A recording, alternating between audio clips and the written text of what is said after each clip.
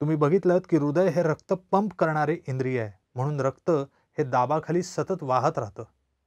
हा दाब खरं म्हणजे हृदय जेव्हा आकुंचन पावतं तेव्हा ते सर्व इंद्रिय किंवा अवयवांपर्यंत पोहोचू शकतं. आकुंचनाच्या वेळी नोंदवला जाणारा दाब हा उच्च असतो.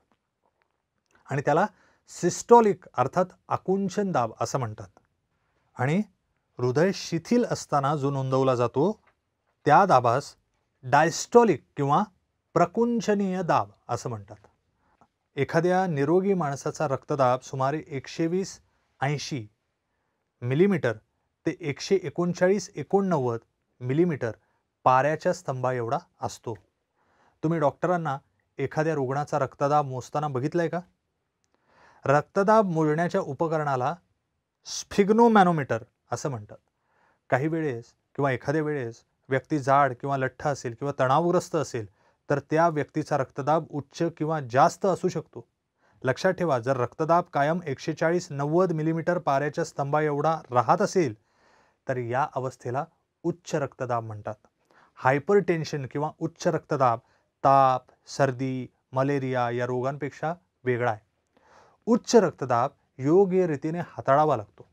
त्यासाठी योग्य ते उपचार घ्यावे लागतात. नाहीतर तो खूपच धोकादायक ठरू शकतो. उच्च रक्तदाबामुळे धमन्या तुटण्याची किंवा धमन्यांची भित्तिका फाटण्याची शक्यता वाढते. यामुळे विशिष्ट अवयवाला रक्तपुरवठा होण्यावर दुष्परिणाम होऊ शकतो.